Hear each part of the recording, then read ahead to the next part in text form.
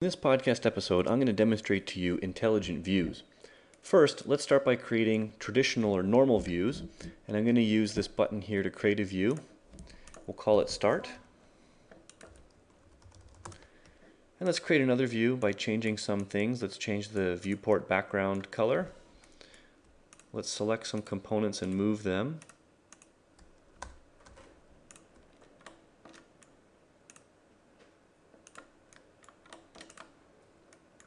And we'll save that as end. And you know that a view is capturing everything. Positions, property changes, camera locations, everything is being captured. Now if I want to create a view but only capture the camera position or maybe only capture the color of the background or anything in between, this is where we can use intelligent views. What I would like to do is not have an end view that has an orange background and a zoomed in camera. What I would like is I would like the position of these bolts but I would also I would like to have the starting camera position and the background as it is here in the start. So what I can do here is by going into the view pane, I can decide exactly what to include or what to not include when I create my intelligent view. So what I want to do is I want to capture the camera and I would like to capture the properties of the viewport, such as its color. And when I create that view, you'll see here that I have Uh, a different icon to show that it's an intelligent view.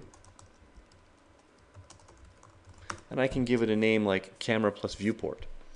Now if we go to our view called end, and I apply this intelligent view, what it's going to do is apply the camera and the viewport color to the view.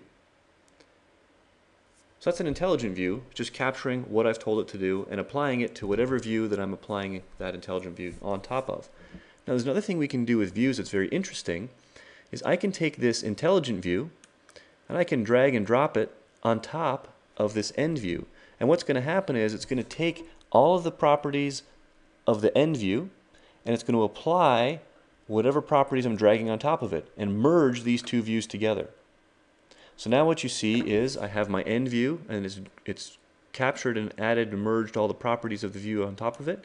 And now I have the desired result. There's my start, there's my end, and the bolts are moving out, and I'm having no camera rotation or mo movement and getting the end result that I wanted.